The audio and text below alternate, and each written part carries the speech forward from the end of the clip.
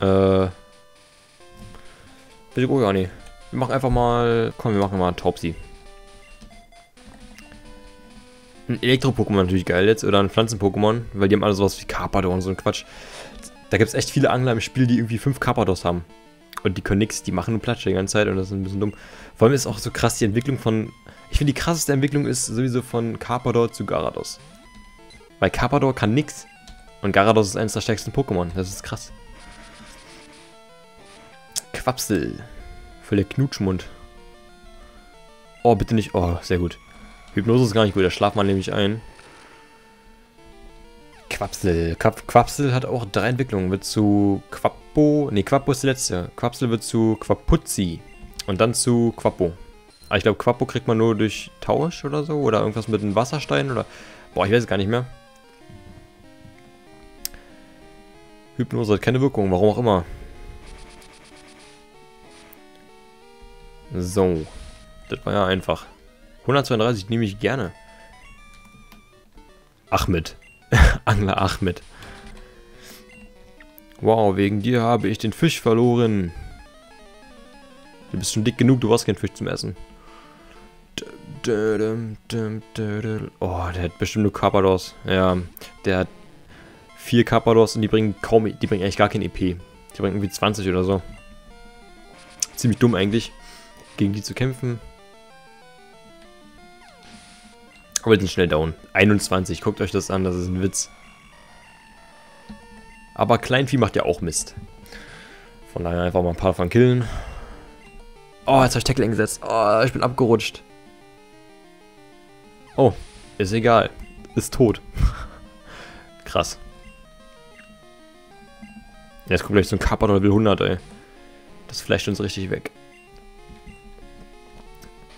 Wie, wie, oh, Level 15. Ich habe gerade mich gerade gewundert, warum das auf einmal ähm, als erstes Pokémon angreift. Aber das ist Level 15, das ist sein stärkstes Pokémon auf jeden Fall. Von Level 5 auf Level 15, nicht schlecht. Ich glaube, Carpador entwickelt sich, entwickelt sich erst ziemlich spät zu Garados, irgendwas in den 20ern und 30ern. Da rennt ewig mit so einem blöden Carpador rum, ey, das ist auch nicht so schön. Problem ist, ich habe äh, an sich schon Wasser-Pokémon, also Garados brauche ich an sich nicht. Obwohl Carpador, äh Quatsch, Garados zählt glaube ich auch als Drachen-Pokémon. Und das Witzige ist, ich weiß nicht, ob es in dieser äh, Edition, Edition, Alter, in dieser Edition auch so ist, aber in irgendeiner konnte ich Garados auf jeden Fall Fliegen beibringen, ja? Das konnte fliegen. Was ist denn das? Also ich glaube, das ist ein Drachen-Pokémon. Wenn ich mich nicht irre.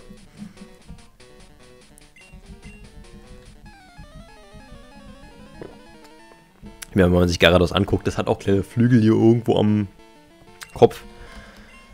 Aber die sind so klein, die reichen nicht zum Fliegen.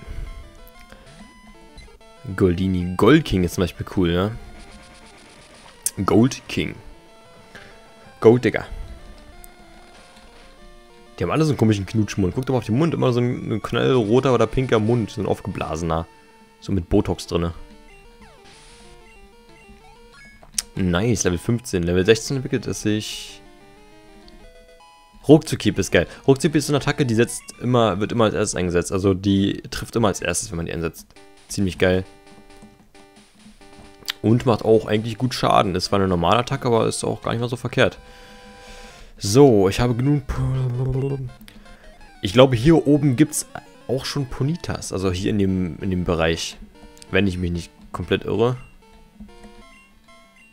Felino. Felino ist auch Wasser-Pokémon. Ich glaube Wasser und Hypno oder so. Oder nur Wasser. Guck mal hier ruckzuck. Zack. Oh ja. Das bockt schon. Ich weiß nicht, ist Aquaknarre effektiv gegen Pflanzen-Pokémon? Nö, eigentlich nicht. So, hätte ich, hätte ich eigentlich gedacht, weil ich dachte immer so, dass Wasser irgendwie die Flügel nass macht von irgendwelchen Vögeln und die dann abstürzen, keine Ahnung. Vielleicht denke ich auch einfach zu kompliziert. Vor allem der unten, ne, der Typ gerade hat uns mehr Geld gegeben als der ähm, Arenaleiter Falk. Der hat uns fast doppelt so viel gegeben gerade hier, das ist auch ein bisschen krass. So, Knopfense ist gar kein Problem. Machen wir Windstoß, ist sofort tot. Das hässliche Pokémon. Was ist denn eurer Meinung nach das hässlichste Pokémon, was ihr jemals gesehen habt? müsste mal gerade überlegen, was ist denn meins? Was ist denn richtig hässlich? Was ist denn richtig hässlich, ey? Oh. Ich würde sagen Fenster. also. Mir fallen gerade auch keine anderen ein. Duflos zum Beispiel hässlich, der sabbert immer so blöd. Aber was ist denn noch hässlich, ey? Mir fällt echt gerade nichts ein. Hm, ist ja auch egal. Es schlug fehl und wir sind Level 16 und entwickeln uns. Also ich bin der Meinung, es war Level 16. Ja, bin mir echt ziemlich sicher, dass es Level 16 war. Irvin. Wie gibt der uns? 1180. Nee, noch nicht, denn Level 18. Level 16 war, ah genau, Level 16 waren die Standard-Pokémon, die Anfangs-Pokémon. Also Kanimani wird Level 16 halt zur, zu, ähm, keine Ahnung. Wollen wir uns einen Voltilam fangen? Das hat, das ist halt ein Elektro-Pokémon, ist auch nicht verkehrt eigentlich, aber, hm. Oh, das ist doch mal hier wie äh, gefundenes Fressen. Ich würde sagen, wir werfen Pokéball und fangen uns, oder? Auf die paar EP, die ich kriegen würde, wenn ich es besiegen würde, kann ich verzichten. Also lieber mal fangen. Ist auch noch männlich, ist Level 6. Das ist krass, das hätte ich jetzt nicht gedacht. Dann halt nochmal. Wir haben bis noch zwei Pokébälle. Wir müssen uns auf Pokébälle kaufen, weil mittlerweile haben wir schon genug Geld, um uns mal ein bisschen was zu kaufen. Zwei ist ein bisschen wenig. Gibt es da irgendwie einen Tipp? Wie man das irgendwie... Ich habe damals immer gedacht, wenn ich jetzt irgendwie auf dem Gameboy B drücke oder ganz, ganz auf B drücke, dass das dann ähm, die Chancen erhöht, dass das Pokémon halt drin bleibt im Ball. 60 cm, das ist auch ein Riesenvieh, ey. So, haben wir hier. Ein Superball. Uiuiui. Ich würde sagen, wir wechseln mal schnell die Pokémon. Wir wechseln mal Kanimani wieder vorne hin. Tausch. Es gibt daher auch so ein, so ein Item, das kann man tragen. Das ist ein EP-Teiler. Das ist auch ganz cool. Da musst du halt immer switchen. Da kannst du einfach einen EP-Teiler auf ein Pokémon legen. Und egal mit welchem Pokémon du kämpfst, die Hälfte der EP geht immer auf dieses Pokémon, was diesen EP-Teiler trägt. Das ist auch immer ziemlich cool. So, und da Voltilam noch keine Elektroattacken hat, können wir ohne Bedenken kann die Mani einsetzen. Also ich hoffe mal, es hat keine, keine Elektroattacken. Das wäre sonst ein bisschen scheiße jetzt. Ne, nur Tackle. Das macht nichts. Gut, Level 13 ist das. Ja, Level 16 entwickelt es sich zu, was auch immer. Ich habe echt keine Namen im Kopf. Ich weiß nicht, wie die Dinger heißen. Ist hier oben noch irgendwas? Muss ich mal gucken. Ich will mal schnell gucken, wie lange ich schon aufnehme hier. Wie kann ich das hier... So. Ja. Da, uh, fast eine Stunde. Krass.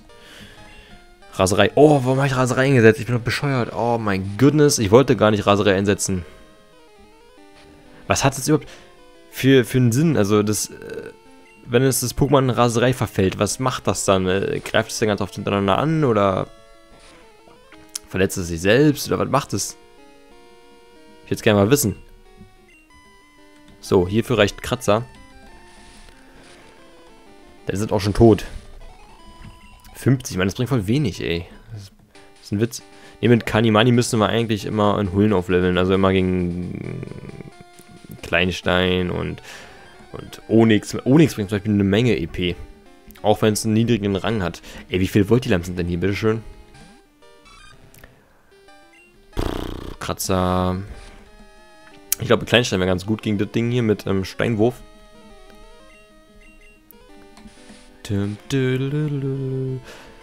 Ist hier unten schon der nächste Orden oder ist er woanders?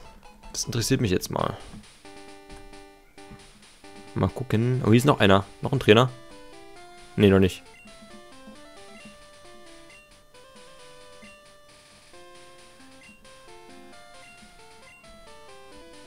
Huh. Flagman-Rude. Hier ist garantiert irgendwas. Ja. Das ist immer so, das, das erkennt man. Wenn irgendwie so, so, ein, so ein Gang ist, der irgendwie endet, ist davor immer versteckt so ein Item. Jetzt gibt es später auch so ein, ähm, so ein, so ein ähm, Item-Finder, den kannst du mal einsetzen und dann piept es halt, wenn da irgendwas in der Nähe ist, was versteckt ist. Weil es gibt viele Sachen, die sind halt im Boden vergraben, irgendwie, die siehst du so nicht. Gut, wir werden jetzt mal Pokémon wechseln, weil wir haben Zubat dabei, das brauchen wir nicht. Und ich glaube, dass Voltilam sogar Blitz erlernen kann. Das würde doch mal Sinn ergeben eigentlich, oder? Ich glaube, in der ersten Edition war es auch so, dass Blitz gar keine Elektroattacke war. Das war irgendwie äh, eine normale Attacke. Von daher konnten es auch andere Pokémon lernen. Unter anderem auch Zubat. Ich glaube, so war das. So, ablegen. Zubat. Ah, oh, nicht Status. Nein, ich, ich verklick mich immer hier. Ablegen. So. Weg mit dir. Weg mit dich. Äh? Aber wollt ihr dann schon dabei? Ach, ist er schon dabei? Na Mensch, guck dir das mal an. Wir können ja mal gucken, ob wir das... Beutel... Blitz, okay. Ja, Voltilam könnte es theoretisch lernen. Ich lasse es mal sein, weil das Ding ist mit, mit VMs, die kannst du nicht fair lernen. Also du kannst nichts überschreiben, sage ich mal. Du, es gibt irgendwo einen, einen Typen, der, ähm, der kann VMs abtrainieren, sage ich mal. Aber das war noch lange nicht. Falk. Vogeltrainer Rico.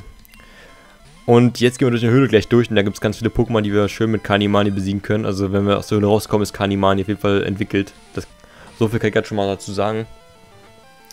Ich erinnere mich, ich erinnere mich. Lang, lang ist her, aber... Das war ein Volltreffer. Ne? Boah, war fast gestorben hier. Tschu. Noch eins. Wisst ihr was? Wir wechseln einfach mal auf Kleinstein, weil Kleinstein ist sehr, sehr effektiv gegen diese Pokémon. Und vor allem können wir Kanimani gleich in der Höhle trainieren. Von daher lieber mal mit ein bisschen mit Kleinstein, der ist Level 10 oder so, oder? Oh, Level 12 mittlerweile. Die ist ja schon wieder voll verplant. Das ist sehr effektiv und das ist tot. 70. Ui. Ich hätte schon gern Geowarts, aber ich krieg ja leider nicht. Ist schon ein cooles Pokémon an sich. Sieht vor allem cool aus. Schnabel. Uh, das macht extrem viel Schaden, wie ihr gesehen habt. Ah. Ich weiß gar nicht, was besser ist. Ist, ist ähm, Habitat besser oder Taubsi? Also zum Schluss wird der Habitat zu Ibitak und Taubsi halt ganz zum Schluss zu Taubos. Aber was ist davon besser? Habit äh, Ibitak oder Taubos? Du, du, du, du, du. Wieder so eine verrückte Musik, ey. Also hier gibt es wirklich viele Pokémon, so Stein-Pokémon und Boden-Pokémon, die machen eigentlich... Ist ein ziemlich gutes Futter für mein Kanimani. Also einmal Ackerknarre und das Ding ist weg. Und wir sind Level 14 damit. Yo. Nice. Oh, wie heißt denn die Weiterentwicklung davon? Kanimani. Kanimani. Die letzte ist Imper Impergator. Impergator. Imperator. Aber die dazwischen. Fällt der Name echt nicht ein. Hat der einen Onyx?